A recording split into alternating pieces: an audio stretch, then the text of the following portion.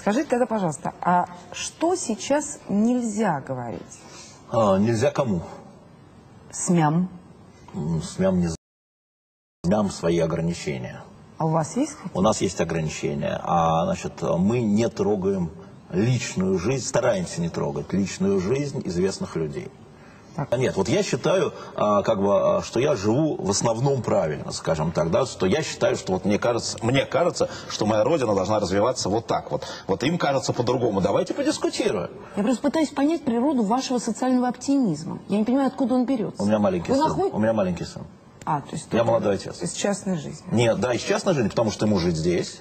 Он должен жить в благополучной максимально стране, в безопасной максимально стране здесь. Он должен получить, я, в общем-то, так сказать, не молодой человек, да, он, ему долго придется жить без меня одному, да, я должен создать некие условия в стране. Я работаю на будущее своего сына, на его дворовых этих девушек, этих пятилетних безумных, которые там уже амуры заводят, да. Я работаю на это поколение. Нет, а, а на что я еще должен работать? Вот, а, и мне представляется, что вот это вот... а, Нет, молод- Вам представится, что это получится? а, значит, конечно же, же, конечно же.